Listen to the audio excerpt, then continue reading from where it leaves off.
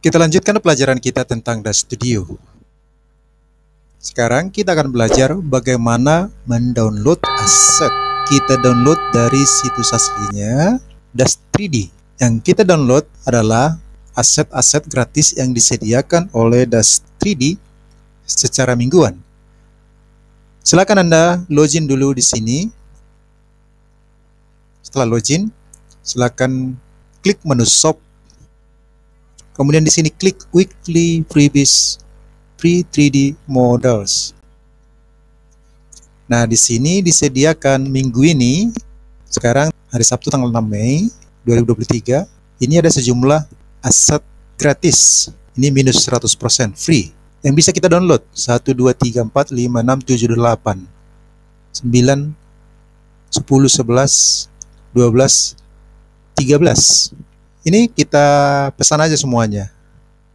Soal apakah kita nanti kita install atau tidak, kita pikirkan belakangan. Yang penting kita pesan dulu. Kita belanja dulu. Klik satu persatu. Kemudian klik add to chart, view chart, and check out. Sini klik proceed to purchase. Kemudian klik place order. Sini your order was successful. Di sini diperintahkan bisa di-download melalui DAS Install Manager.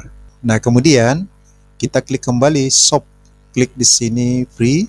Kemudian ini kita klik kembali biar tidak berulang-ulang kita kembali ke sini. Kita buka di tab baru aja ya. Ini 100% free. Jadi ini gratis ya. Add to chart. View chart and check out.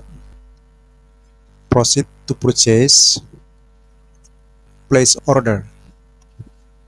Kita tutup saja ini.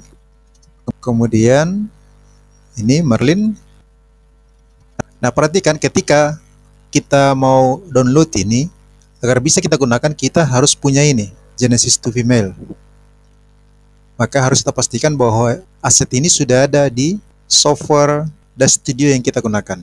Add to chart, view chart and check out, proceed to purchase, place order kita tutup kemudian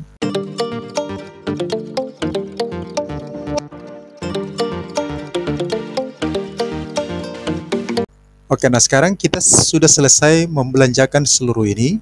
Begitulah caranya untuk belanja di das3d.com. Nanti akan kita install. Kita tidak menggunakan ini ya, tetapi kita akan menggunakan install manager. Kita harus login dulu di sini, daftar dan login. Akunnya harus sama dengan akun waktu daftar dan login di The Studio.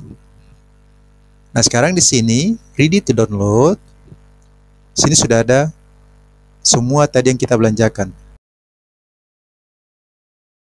Ini juga bisa kita download dan install dari The Central. Nah, ini yang baru dibeli, kita beli. Semua sudah ada di sini.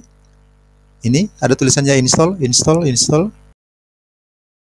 Nah, mau yang mana kita gunakan? Apakah ada central atau install manager? Akan kita pelajari dan praktekkan langsung di video tutorial berikutnya. Agar kita paham bagaimana cara mendownload dan menginstallnya, lalu di mana harus kita tempatkan. Jadi bisa kita install melalui The Central atau bisa kita install melalui install Manager. Saya Pitus Polikarpus suruh Simanulang. Sampai bertemu dalam tutorial selanjutnya menggunakan install manager dan DAS Central untuk mendownload dan menginstall aset yang baru saja kita belanjakan dari das3d.com.